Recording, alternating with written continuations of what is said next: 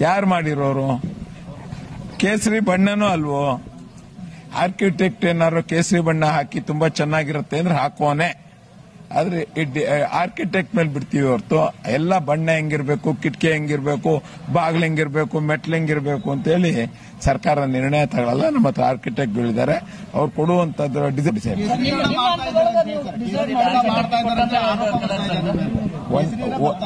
ಒಂದಷ್ಟು ಜನಕ್ಕೆ ಬಣ್ಣದ ಅಲರ್ಜಿ ಇದೆ.